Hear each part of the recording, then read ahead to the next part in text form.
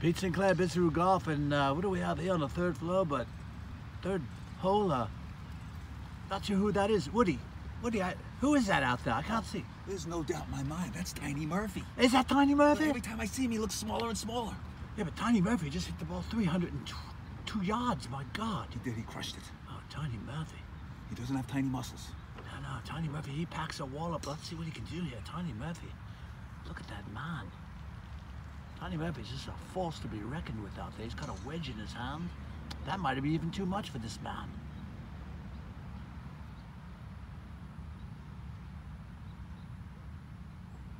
Murphy. He is taking his time, Murphy. Does he like it, Woody? He's on the putting surface, but a little bit short, as in, as in Tiny. Oh, well, here's Tiny Murphy. We'll see him again, gentlemen.